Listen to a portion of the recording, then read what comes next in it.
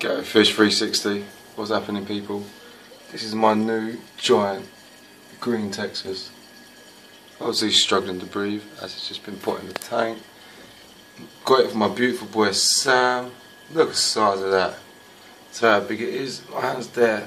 That's a pretty big Texas. Sam Mervin, thank you so much. Look at this fid. It's looking buff. Mother Texas below, which is a big Texas trying it. But he seems quite humble, man. There's no OTT. They're both trying it now. Yeah, dude, you need to swing away. But yeah, this is my new big giant Texas. I'll do some more updates on it soon. Later.